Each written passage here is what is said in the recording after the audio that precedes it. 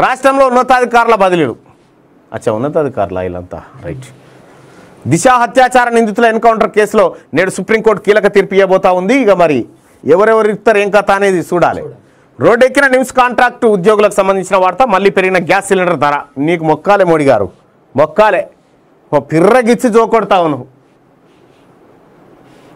ఇగో నూట పదిహేడు యూనిట్ల వినియోగానికి ఏడు రూపాయల ఏడు పాయింట్ సున్నా రెండు లక్షల కరెంటు బిల్ అట ఏడు లక్షల కరెంటు బిల్ అటనయ్యా నూట పదిహేడు యూనిట్లు కాలిస్తే గుడిసెకు గాలి యూనిట్లు కాలిస్తే ఏడు లక్షలు రెండు వేలట. ఏం ఏం అమ్ముకొని కట్టాలి? ఆయన అమ్ముకొని కట్టాలి ఇక. రేకుల ఇంట్లో నివసిస్తున్న మాడిశెట్టి సంపత్ ఒక్క ఫ్యాను రెండు బల్బులు వినియోగం విద్యుత్ బిల్లు ఏడు లక్షల ఇరవై ఎనిమిది వందలు వచ్చిన వైనం. అవాక్కైన సంపద మిషన్లో లోపం వల్లేనన్న విద్యుత్ శాఖ ఏసీ. బాధ్యత ఇంకా నయం వసు. మీ మిషన్ గట్టు ఉంటుంది అలా మిషన్. తడిసి మొలకెత్తిన ధాన్యం గుండెల విషయాలు రోధిస్తున్న రైతాంగం పాపం. వయోపరిమితి పెంచండి. డీజీపీ ఆఫీసును ముట్టడించిన అభ్యర్థులు ఆందోళనకారులను అరెస్ట్ చేసిన పోలీసులు పోలీసు ఉద్యోగాల్లో రెండేళ్ళ వయోపరిమితి కోసం డిమాండ్ నేడు నేడే పోలీసు నౌకర్ల దరఖాస్తుకు ఆఖరంటూ పోలీస్ నియామకాల్లో ఈ రోజు ఇలా- ప్రతిరోజు డిమాండ్ చేస్తూ ఉన్నారు.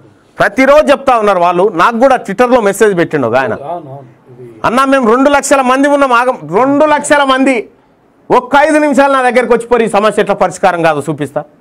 మీరు ఐక్యంగా లేక నీవు తెలంగాణ రాష్ట్రంలో అనేకమైనటువంటి తెలంగాణ ఉద్యమం ఉప్పెన్ లెక్క నడుస్తుంటే మన రాష్ట్రంలో ఉద్యోగాలు తీసుకుందాం రా. కిరణ్ కుమార్ రెడ్డి ఇచ్చినవి మనకెందుకంటే. పేపర్లు చింపి బయటకు వచ్చినటువంటి బిడ్డలు వీళ్ళు.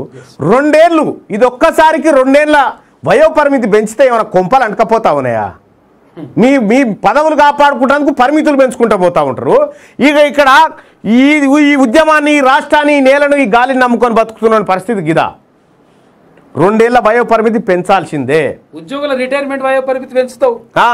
వీళ్ళకు అవకాశం ఇవ్వమని చూడు వీళ్ళు. ఇక చూడు ఎట్లా అడుక్కుంటున్నాడు చూడు పాపం. ఎంత దారుణం వాళ్ళు. అన్నా దండం పెడతా అని చెప్పి. ఇప్పుడు వీళ్ళ బతుకులేంది చెప్పురి